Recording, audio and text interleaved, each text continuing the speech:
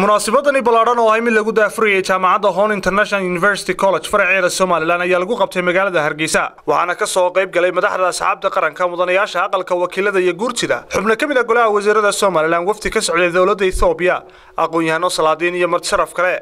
Ugu horeyn waxaa munaasabadaasi ka hadlay gudoomiyaha jaamacadda hon international university college faraceeda somalilan doctor cabdishakuur maxamed xuseen iyo gudoomiye ku-xigeenka jaamacaddaasi maxamed sheekh cumar waxaanay ugu horreyn ka tifaabixiyeen kana warrameen kuliyadaha ay jaamacaddoodu bixin doonto iyo sababaha loo aasaasay. International university college waa jaamacad laga leeyahay dalka etoobiya waxaana la aasaasay kii ten ugu dambeeyey waxaa ka qalin jibisay arday ah laba iyo toban kun oo arday waxayna leedahay departmentiyo kala wada duwan.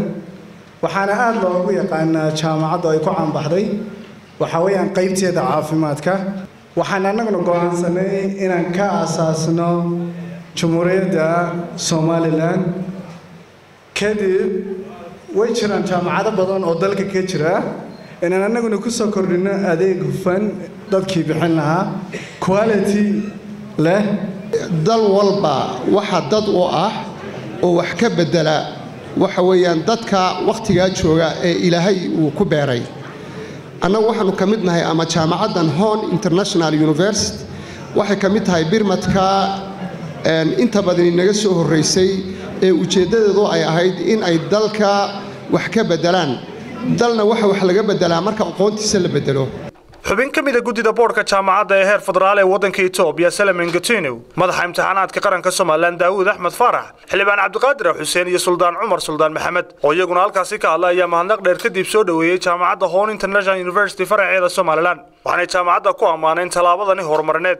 Gudoomiyaha xusbiga mucaaridka u cid injineer faysal caruraabe wasiirka wasaaradda diinta ee awqaafta somalilan sheekh khaliil cabdilaahi oo iyaguna halkaasi ka hadlay ayaa sheegay in loo baahnaa jaamacaddan inay ka furato waddanka somalilan marka hore waxaan soo dhaweynayaa jaamacadan hon international university college ee etoobiya nooga timi. Maanta tacliintu somalilan waxaa aad mahad ugu naqaynaa dadka brifatka ah ee markuu dalku burburay ee dowladnimadeennii la soo noqonnay dadkii aasaasay iskuullada ee ka bilaabay inay ku fadhiistaan jaajuurka iyo caanaboodhaha kuwii markii dambe jaamacada bilaabay. Waa munaasabad runtii daahfur ama furitaankii ama xafladdii furitaanka ee kulliyadda ay kambaska jaamacadda hon international university oo runtii xagga caafimaadka ku takhasustay caafimaadkoo dareemayso inuu yahay meelaha runtii aadamuhu aada ugu baahan yahay. Ama qofka doctorka ama dhakhtarkii uu yahay runtii dadka ugu naxariista badan bulshada ee loo baahan yahay in la badiyo.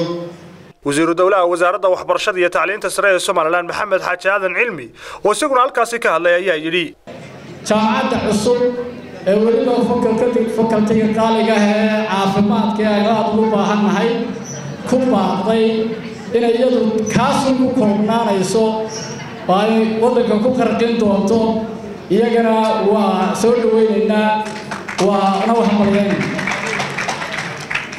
maxaa yeelay dhinaca caafimaadku wuxuu ka mid yahay baahiyaha aynu weli aad iyo aada ugu baahannahay.